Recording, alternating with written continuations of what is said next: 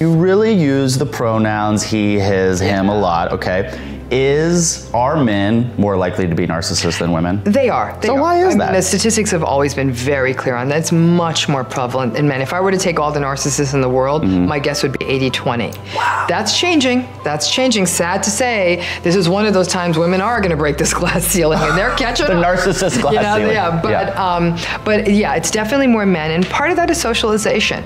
Men, even as boys, are not taught to talk about their emotions as much, to not be as tuned into that.